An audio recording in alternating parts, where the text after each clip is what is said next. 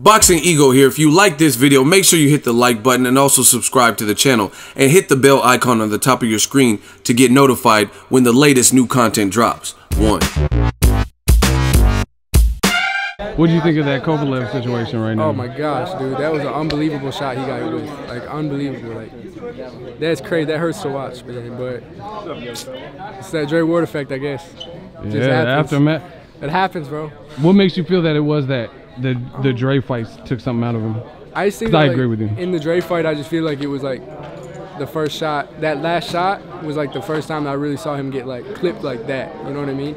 And then uh, it just takes a lot out of you. Like after everybody knows after you've been knocked down or knocked out or hurt once, you know, it's like something about it. It's almost like your body remembers it. You know what I mean? It's like your chin remembers it. Your chin isn't the best. I mean, guys get through it and they, you know, uh, return and get better off it. You know, it's not every time, but sometimes when guys get hit, they're never the same. You know, it just depends. Yeah. You know what I mean? Andre Ward has a history of that because same thing with Chad Dawson. Absolutely. After he stopped Chad Dawson, he got knocked out by Adonis. It's kind of like that. You know, Similar. some guys just their chin's not the same after getting hit like that. You know what I mean?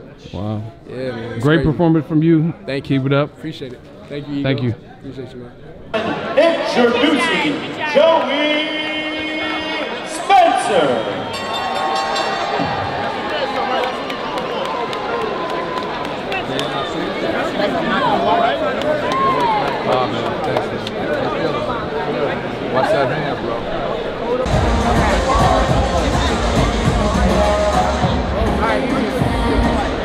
What's up, What's up, brother? Hey, Good? Yes, sir, man. good job, Joey. Thank you. Appreciate it. I appreciate you.